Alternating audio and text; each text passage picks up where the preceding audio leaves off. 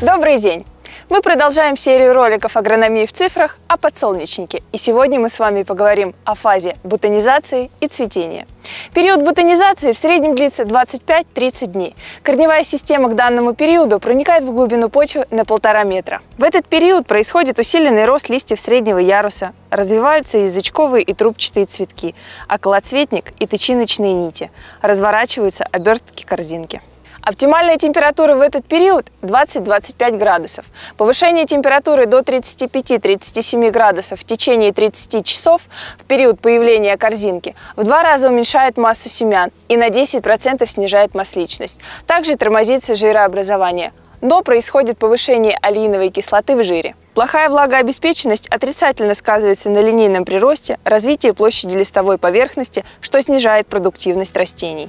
Чтобы все процессы в период ботанизации прошли как можно благоприятно, важно поддерживать оптимальное соотношение всех элементов питания в листьях. Так, общего азота в фазу ботанизации начала цветения необходимо 1,5-2,5%, фосфора 0,47-0,62%, а калия 3,9-4,1% на абсолютно сухое вещество. Также важно отметить, что до 50% от общей потребности в воде за вегетацию расходуется именно в этот период. А теперь давайте поговорим о цветении. К этому моменту корневая система проникает в почву на 2 метра. Появляются тычинки и пестики трубчатых цветков, и пыльники выходят из венчиков. Период цветения одного поля в среднем длится 15-20 дней. А цветение одной корзинки 8-10 дней. Следует заметить, что 2-3 ряда трубчатых цветков цветет ежедневно, и в одной корзинке их может варьироваться от 1200 до 4000. Температура воздуха 25-27 градусов является оптимальной фазой цветения. Температура свыше 28 подавляет развитие растений, свыше 30 – губительно для пыльцы. А заморозки 1-2 градуса сначала вызывают сильное повреждение цветков, а затем их гибель.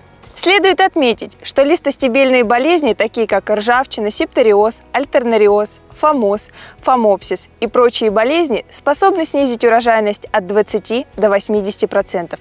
Кроме этого, снижение урожайности на 5-40% может быть в зависимости от различной численности вредителей в посевах. Именно поэтому наша основная задача в фазу ботанизации – сохранить листовой аппарат для продления периода образования и поступления пластических веществ, а в фазе цветения – сохранить заложенное количество семянок и обеспечить их выполненность. Но, к сожалению, на погодные условия мы повлиять никак не можем. Все, что нам остается, это с помощью своевременного внесения листового питания, фунгицидной и инсектицидной защиты создать растениям оптимальные условия для хорошего роста. Узнать об эффективной фунгицидной и инсектицидной защите вашего подсолнечника вы можете, перейдя по ссылке в описании. В следующем видеоролике мы рассмотрим межфазный период от налива до созревания. Желаю вам, чтобы погодные условия были оптимальными для роста и развития ваших посевов, и чтобы ваш подсолнечник смог сформировать хороший урожай. До новых встреч!